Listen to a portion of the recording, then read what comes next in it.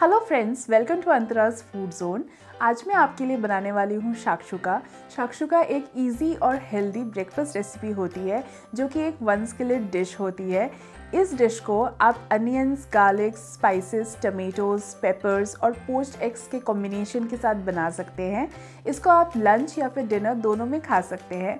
आज मैं आपको दिखाने वाली हूँ शाक्षुका बनाने का एक अलग देसी तरीका। तो प्लीज़ इस वीडियो को एंड तक ज़रूर देखें, क्योंकि इसको डिफरेंट कंट्रीज़ में अलग अलग तरीके से बनाया जाता है। तो हम भी इसको एक अलग तरीके से ट्राई करने वाले हैं। तो चलिए जल्दी से देख लेते हैं इसकी रेसिपी और अगर आपको मेरा वीडियो अच्छा लगता है तो प्लीज़ मेरे वीडियो को लाइक करें, शेयर करें और मेरे चैनल को ज़रूर सब्सक्राइब करें और लेटेस्ट नोटिफिकेशंस के लिए बेल आइकन को प्रेस करें। सबसे पहले हम एक फ्राई पैन में ऑयल हीट कर लेंगे।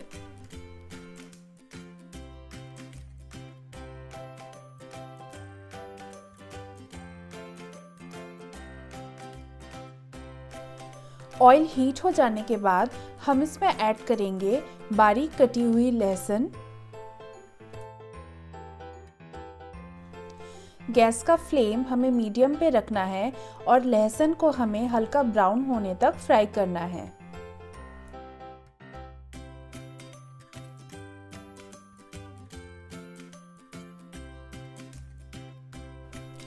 लहसुन का कलर यहाँ पे लाइट ब्राउन हो चुका है। अब इस स्टेज पे हम इसमें ऐड करेंगे बारीक कटे हुए प्याज। प्याज को भी हमें हल्का ब्राउन होने तक सॉटे कर लेना है।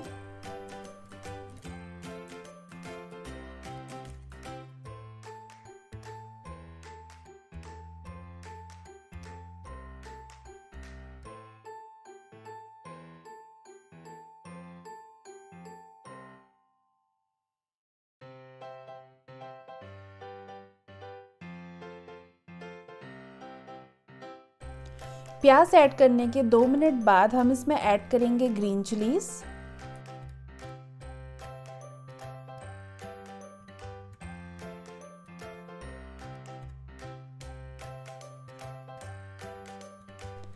सो so, प्याज को सौटे करते हुए हमें टोटल पाँच मिनट हो चुके हैं।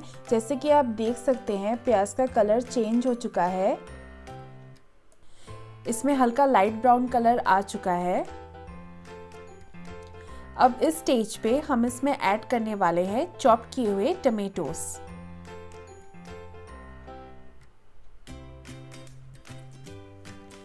टमेटोज़ को हमें अच्छे तरीके से मेल्ट होने तक सॉटे करना है।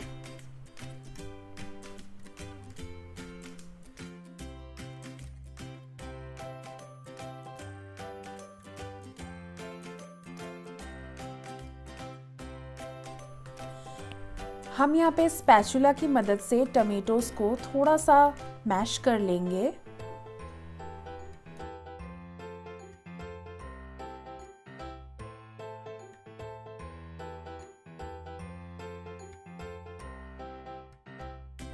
आप यहाँ पे देख सकते हैं जो टमेटोज़ में से मॉइस्चर था वो काफ़ी हद तक रिड्यूस हो चुका है।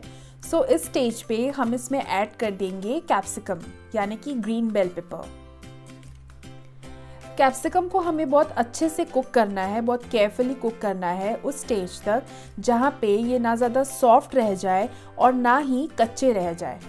तो इस बात का ध्यान रखिए।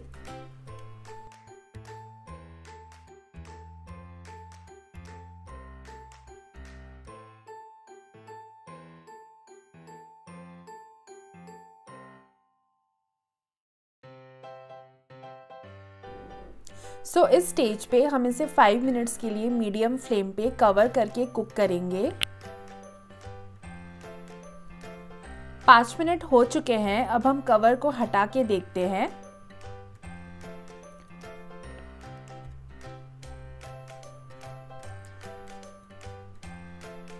हमारे कैप्सिकम जो हैं वो अच्छे से कुक हो गए हैं। वो थोड़े से सॉफ्ट भी हो गए हैं और ना ही अंडर कुक है। तो हमें इस कंसिस्टेंसी तक कैप्सिकम को सॉटे करना है या फिर कुक करना है। अब इसके बाद हम इसमें ऐड करने वाले हैं टोमेटो प्यूरे शाक्षुका जो होती है, वो थोड़ी सी ग्रेवी वाली डिश होती है। इसलिए हमने इसमें टमेटो को दो पोर्शंस में ऐड किया है। एक तो हमने इसमें चॉप टमेटोज़ ऐड किए हैं और दूसरा हमने इसमें टोमेटो प्यूरे ऐड किया है, क्योंकि इसमें टमेटो ज़्यादा यूज़ होता है।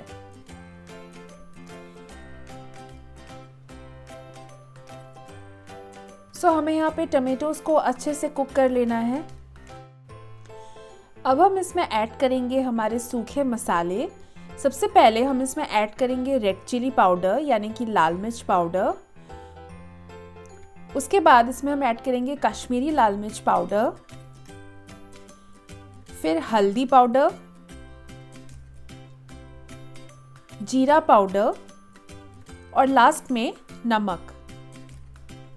नमक आप अपने स्वाद अनुसार ऐड कर सकते हैं. अब इन सभी को हमें अच्छे से मिक्स कर लेना है.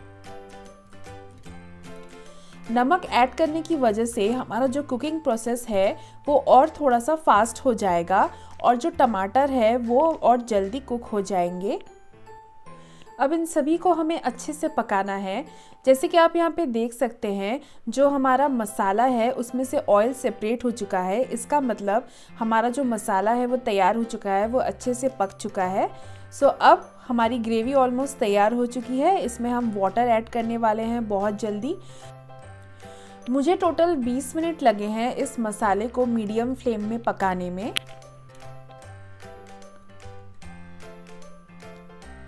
हमारा मसाला रेडी हो चुका है। अब हम इसमें वाटर ऐड करेंगे। आपको जैसी ग्रेवी चाहिए ग्रेवी की कंसिस्टेंसी चाहिए, आप उस हिसाब से इसमें वाटर ऐड कर सकते हैं। वाटर ऐड करने के बाद हम इसमें ऐड करेंगे थोड़ा सा शुगर यानी कि चीनी मिठास के लिए। चीनी ऐड करने की वजह से इसमें टमाटर का जो एक खट्टापन होता है, वो भी थोड़ा सा चला जाता है।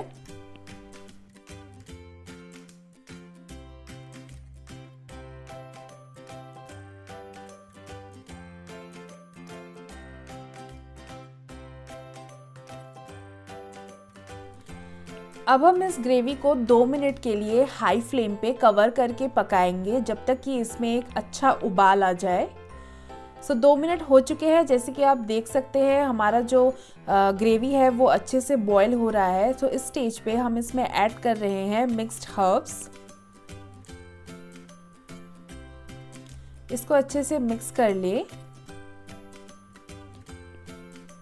मिक्स हर्ब्स ऐड करने के बाद और दो मिनट तक हमें इसे पकाना है हाई फ्लेम पे। अब स्पैचुला की मदद से ग्रेवी में हम कटोरी जैसा बना लेंगे। अब इसमें हम एक एक अंडे तोड़ के ऐड कर देंगे।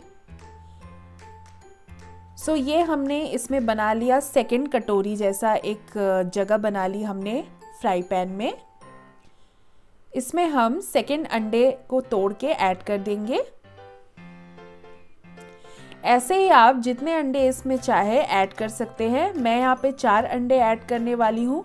बस ये ध्यान रखें कि आप स्पैचुला की मदद से या फिर जो भी आप यूज़ कर रहे हैं, उसकी मदद से या फिर एक स्पून की मदद से आप इसमें थोड़ा सा जगह बना लें ग्रेवी को हटा लें और डायरेक्ट फ्राई पैन में आप अंडे को ऐड करें।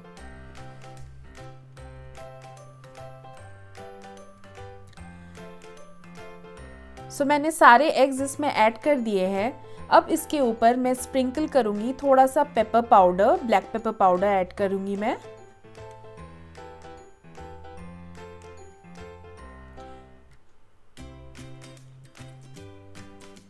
और उसके बाद मैं इसमें ऐड करने वाली हूँ चॉप्ड कोरिएंडर लीव्स यानी कि चॉप्ड धनिया पत्ते।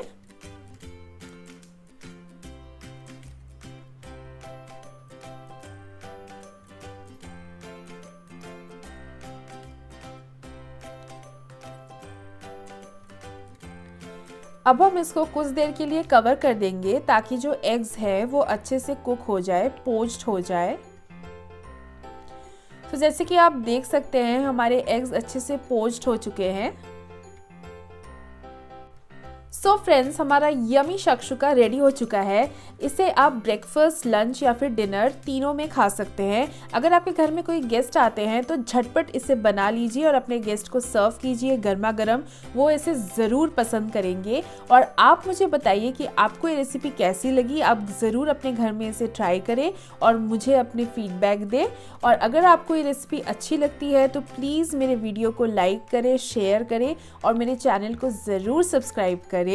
और मैं आपसे मिलूँगी अगले वीडियो में एक नई रेसिपी के साथ।